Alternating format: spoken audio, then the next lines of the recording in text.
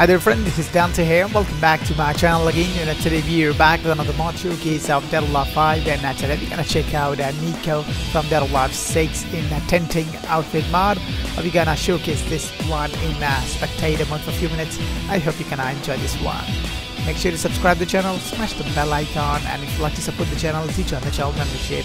You can also support us on PayPal. PayPal link is in the description below. So let's check it out.